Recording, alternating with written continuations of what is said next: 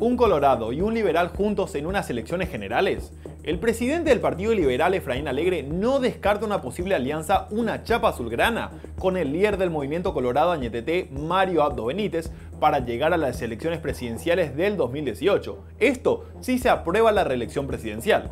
Por su parte, Abdo confirmó que mantuvo conversaciones con Alegre e indicó que si el Partido Colorado decide expulsar a su sector, no tendrán otro camino que una alianza en tanto que el senador del Frente Guazú, Hugo Richard, dijo que Marito y Alegre representan un modelo neoliberal y conservador.